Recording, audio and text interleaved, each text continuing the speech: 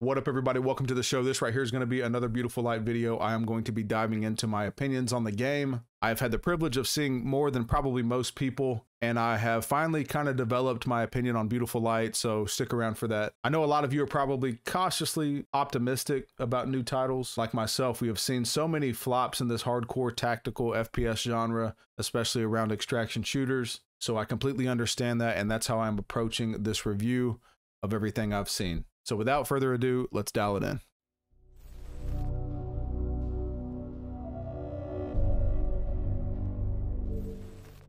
So Beautiful Light's going to be a PvPvP VE extraction shooter. That means there's going to be PMCs of different factions, three man teams, I think around 20 to 28 players somewhere on the map, depending on the map. And you're basically all going for the same thing the artifact but I do believe there's going to be traders and side quests on these maps as well. But they're basically streamlining a PvP experience. Now, the other P in the PvPvP, VE, God, that's really hard to say, is going to be the anomaly. There's going to be people able to spawn in kind of midway through the raid as a monster type of being, basically a scav type system for this type of game. Remember, it's a horror aspect, very sci fi, spooky, dark environment that we have here. So that's the other players that are on the map. And then there's obviously going to be AI of different forms. Now, the gist of it, you spawn in, you go for the artifact. I think everybody probably understands that. And then you try to extract. When you pick up the artifact, you're more or less marked. People can see you, and you pretty much fight for this. I think the artifacts are going to be the top priority of all these raids, which gives me a little worry on depth and the gameplay loop being a little stale after a few weeks of playing it. But they have assured us there's thick levels of depth here where there's different systems, different routes, different side tasks, traders, leveling up. We're going to get into that in a minute. So hopefully we have some longevity. And with the playtest being this month, we get to see a little bit of that. I know we won't get to see everything, but we get to see kind of that loop unfold. Now, if you want to hear me shut up and you just want to watch raw gameplay, if you have not seen that yet, I'm going to put a video right here. Make sure you click on that and you can just see all of the raw footage that I've had right now and kind of form your own opinion. I want to go over some of the systems first that I think are going to be really good. Let's start with the weather cycles, dark atmosphere, and the environment. It seems like they gave a lot of effort, and I understand why, with it being a horror type of extraction shooter, very dark, scary, you know, intense raids. They took a lot of effort into the the atmosphere, the weather, things like that because from how I view the tactical extraction shooter, it's already a high stakes, scary, heart racing feel that you get when playing it. So to maximize that and add a horror element to it, I think is a huge win and it can pay off big because that's already the nature of that genre. All they're doing is amplifying it. So with the weather cycles, the atmosphere, the fog, everything that they have that I've seen so far is beautiful, no pun intended. Let's talk about the game mode a little bit. With the anomaly and the extra player or players playing the anomaly, I think that's also a good twist. It gives people a different look from scavving. I know level zero extraction did kind of the same thing, and I think someone can pull it off. I don't know if it's going to be beautiful light or level level zero, but I think someone can absolutely twist that a little bit. Now they have a lot of information on that, and they've given us an extended FAQ that I, I'm going to put in the description now, so you can kind of look at that. Just going to be going over the things that I like and dislike. So apart from the atmosphere and weather, another thing that I think is huge because no one else is doing it. This is probably the, in my opinion, the biggest thing that they have going for them is going to be their skill tree. There's going to be a flat base progression stats of playing the game. Obviously, I guess with doing missions and things like that. But there's also going to be the skill tree where you can, similar to RPGs, where you can level your character how you want to, to level them. So if you want to make them more medic heavy or sniper heavy or stealth heavy or whatever, I, I haven't seen the exact attributes, but I think that's huge because we haven't really seen that in this space yet. So I believe they have that going for them because if you're going to make an extraction shooter, why not make your why not be able to build your PMC from top to bottom the way you want them? And I think that's that's huge. You're going to be able to unlock weapons, armor, meds, different gadgets, things like that through the traders by doing different quests similar to Tarkov. So there's also that as well. So they're adding another layer by doing the skill tree, which I think is unique to each player and uh, can be good for them in the long run. You will also be able to reset this tree if you do not like it, which I think is huge. If somebody, you know, develops it the wrong way, they can go ahead and reset it. There's going to be different factions. Everybody's a PMC.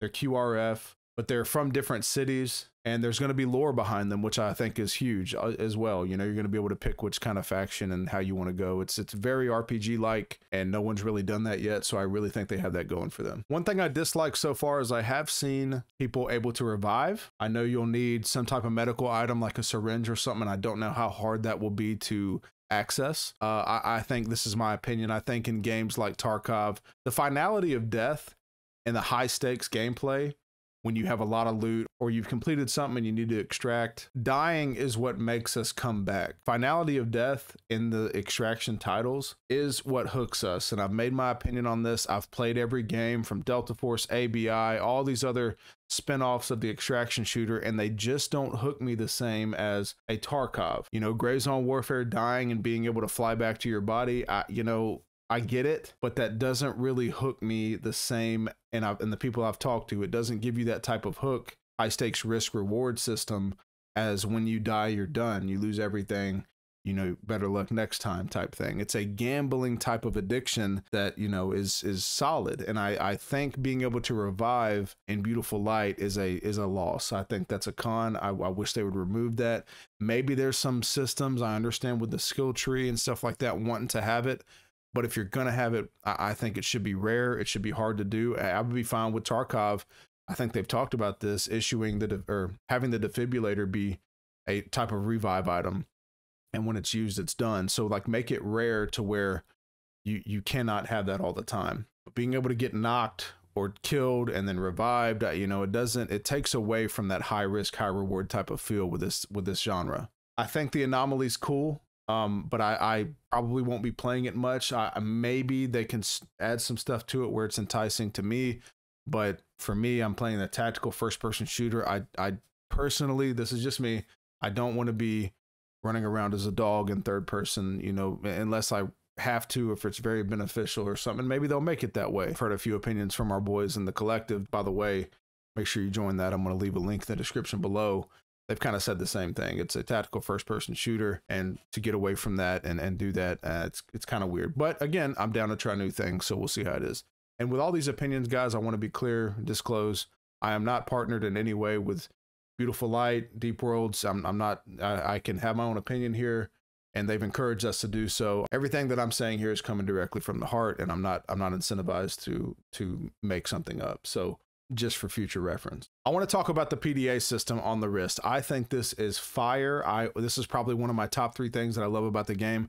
Again, a realistic system, immersive, but you can pull up your PDA system on your wrist and you have your compass, your heart rate, your team status, all of that. You have a map, you can scan different stuff.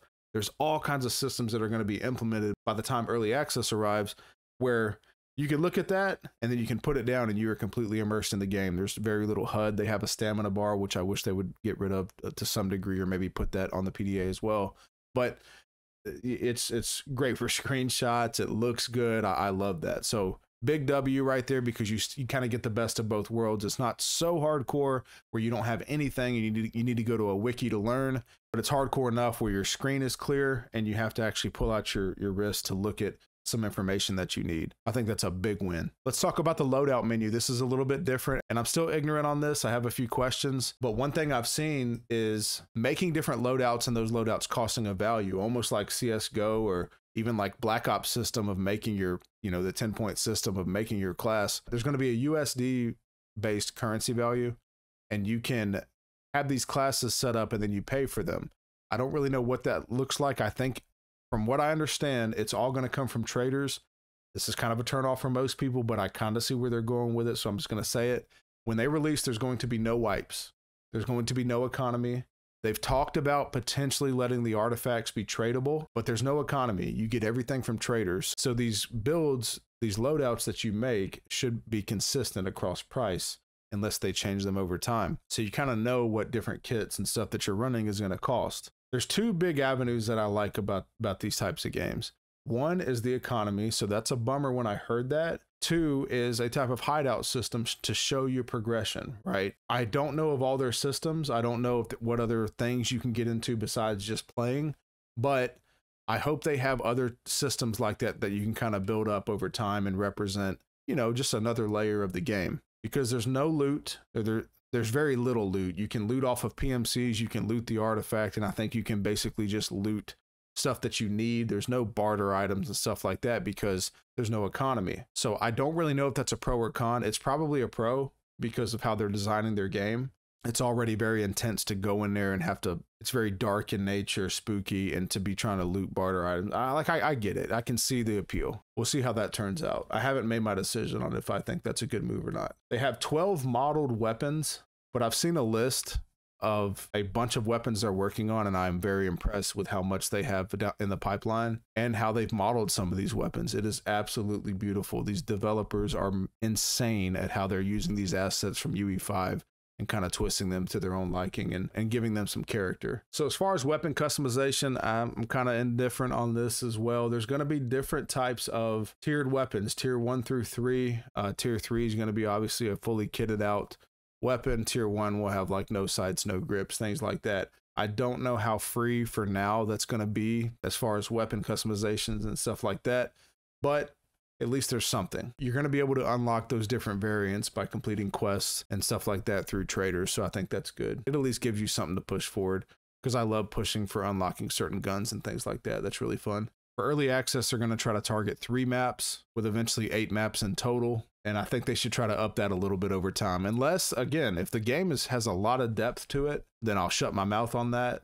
But if if it's kind of a simple loop, we're going to need probably more maps than that at some point. Let's talk about customization. I think this is also a huge W and I, I am waiting for someone to do this right. So you're not getting the economy. You I don't know if you're going to be getting a hideout, things like that, but you are going to get a ton of customization helmet, backpacks, chem lights, which which is basically a PID system, so your teammates can know you're friendly.